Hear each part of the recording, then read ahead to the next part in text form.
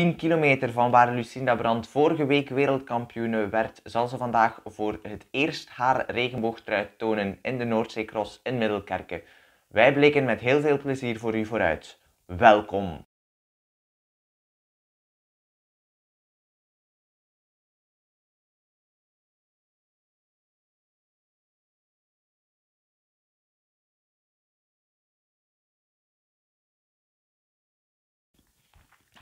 En het parcours begint op de West de Laan. U kent de beelden wel van de lange laan waar de renners in groepjes versnipperd zijn omdat het wiel van een voorganger daar bij tegenwind echt wel cruciaal is. Daarna gaan de renners het veld in en op dat, in dat veld gaan korte inspanningen elkaar afwisselen voor de hellinkjes op te kunnen rijden en anderzijds ook voor de korte zandstroken aan te vatten. En dan gaat er natuurlijk ook gesprint worden op die West en de Laan een lange sprint, ehm, zoals we zo dadelijk zullen zien. En wie zijn de favorieten dan? Laten we beginnen bij de vrouwen. Daar is Lucinda Brandt echt al het hele seizoen de vrouw in vorm. Ze is wel niet zo goed uitgerust, maar ze hoopt dat die regenboogtrui dat gaat compenseren en dat ze daardoor over het parcours gaat vliegen.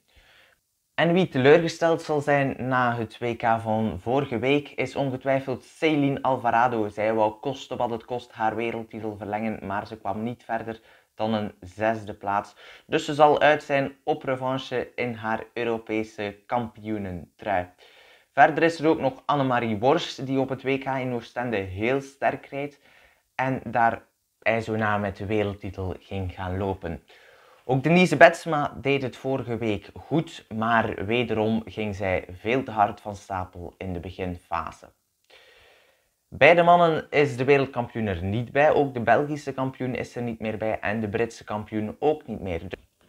We zitten dus terug in een situatie zoals in het begin van het seizoen, waar Balwaze Tracklines het op gaat nemen tegen Powell Sausen Bingo. Voor Balwaze Tracklines is het vooral Toonaard die het zal moeten doen. Voor Sauce en hebben ze een aantal. Uh, bij Sauce en Bingo hebben ze meerdere renners die het goed kunnen doen. Laurens Week, de zandspecialist, maar ook Eli Iserbiet en Michael van Toerenhout zijn zeker kanshebbers op de overwinning vandaag. En hoe was het vorig jaar? Het was Eva Lechner die als eerste het veld indook. Ze deed dat voor Inge van der Heijden en Celine Alvarado. En plots moest Celine Alvarado de post in. Ze moest wisselen van schoen. Ze neemt nog een nieuwe fiets mee. En bij het ingaan van de laatste ronde heeft ze een tiental seconden achter op Annemarie Worst. Maar in de sprint verschalkt ze Worst en Betsema. En zo wint ze voor de eerste keer in haar regenboogtrui.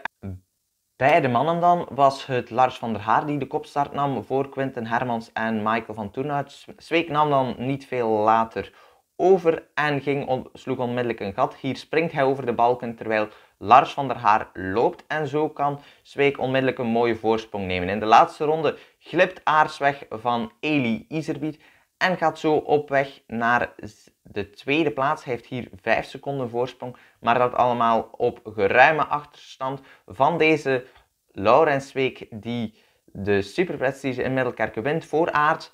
En Iserbiet is derde op een 22-tal seconden. En het is natuurlijk de slotmanche in Middelkerke. Dus wat kan er nog gebeuren in het klassement van de superprestige? Bij de vrouwen staat Lucinda Brandt drie punten voor op Celine Alvarado. Dat is een vrij grote voorsprong. Dus als Lucinda Brandt op het podium eindigt, is ze zeker van de eindwinst in de superprestige. Bij de mannen heeft Toonaard vijf punten voorsprong op Eli Iserbiet, wat een wereld van verschil is. En ook nog eens 9 punten op Michael van Toerenhout.